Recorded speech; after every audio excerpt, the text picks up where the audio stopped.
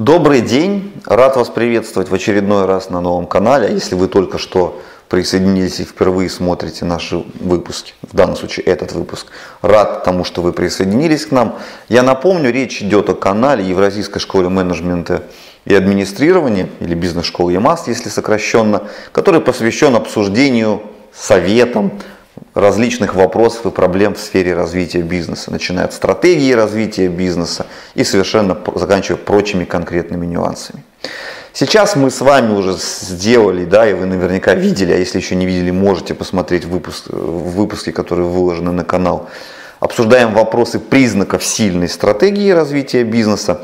Сейчас пришел черед поговорить о шестом признаке, пять из них мы уже обсудили детально. Напомню, вы можете посмотреть их в записи. в записи.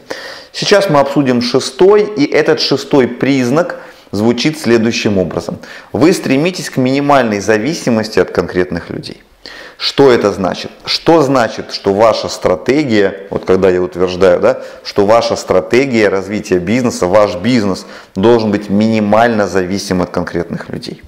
Это значит буквально следующее. Если перевернуть тезис обратным образом, то можно сформулировать так. Если ваш бизнес критически зависит от конкретных людей, ничего хорошего из этого не выйдет. Почему так? Этот тезис совершенно не про отсутствие человеколюбия, не отсутствие чувства командности, не отсутствие уважения к людям, с которыми вы работаете. Все ровно наоборот совершенно очевидным и даже не обсуждается, что хорошие, крепкие команды – это команды, в которых люди ценят и уважают друг друга, которые работают с чувством локтя. Кстати говоря, в этом смысле российская практика коллективизма, по крайней мере в рамках нашего бизнеса, куда более полезна, нежели западная практика индивидуализма. Индивидуализм в наших условиях практически не работает. Мы коллективная нация и коллективные подходы к команде куда более полезны и продуктивны в наших условиях.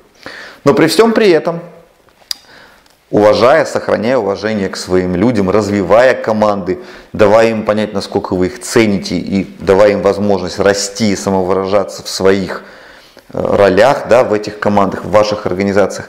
При всем при этом вы должны строить вашу компанию в целом и в частности выстраивать стратегию развития вашего бизнеса таким образом, чтобы успех этого бизнеса минимально зависел от конкретных людей. Почему так?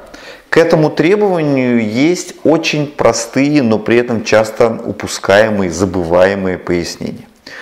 Люди, все люди, они живут своей разной жизнью. В этих жизнях у людей сходятся дороги, дороги расходятся, и ваш подчиненный, на которого вы рассчитывали сегодня, завтра в его жизни может что-то измениться. Он может захотеть уволиться, потому что у него есть какие-то другие чаяния, желания, и он имеет на это полное право. А теперь представьте себе, что вы построили свою компанию таким образом, что она зависит от присутствия в ней конкретных персоналей, конкретного Иванова Ивана Ивановича. Если вы строите бизнес таким образом, уход этого Ивана Ивановича может превратиться в катастрофу и поставить под сомнение успех вашего бизнеса или его успешного развития, сохранение ранее набранного темпа. Именно поэтому для того, чтобы уход конкретных людей не превращался в трагедию, для того, чтобы эти люди, опять же, чувствовали себя комфортно в коллективе, зная, что они никак морально не привязаны и для них не превращается работа в вашей компании в крепостное право, вы должны делать ставку в своей стратегии не на людей, а на систему. На самом деле это ключевой тезис стратегического менеджмента. Выиграй один из 10 грантов с выгодой до 240 тысяч рублей на элитные внедренческие программы MBA и Executive MBA в ЕМАС, одной из лучших школ бизнеса России, Центральной и Восточной Европы. Очное обучение в Москве или Нижнем Новгороде или онлайн-обучение в любой точке мира на русском или английском языках. Подробности на emasrasha.ru и по телефону 8 800 500 42 71. Знаете, на рынке существует достаточно большое количество людей, которые любят по разным конференциям выдвигать тезис примерно следующего содержания, что мы должны делать ставку на таланты. Это ошибочное утверждение, это заблуждение. Когда компания делает ставку на таланты, она автоматически становится зависимой от этих талантов. Ничего хорошего это не дает. Вместо этого в стратегическом правиль, менеджменте правильное утверждение звучит следующим образом. Мы должны делать ставку на создание эффективной системы. Система, которая не зависит от конкретных людей, которая не превращает этих людей в заложников этой компании, когда они понимают, что они не могут нормально уйти, потому что без них все рухнет. И наоборот, справедливо обратно тоже, эта система не делает руководителя заложником этих людей. Безусловно, мы должны понимать, что, еще раз повторюсь, в этой системе Людям должно быть комфортно работать, они должны ощущать собственную ценность и видеть свой реальный вклад. Но никоим образом эта система не должна создавать зависимость компании от конкретных людей.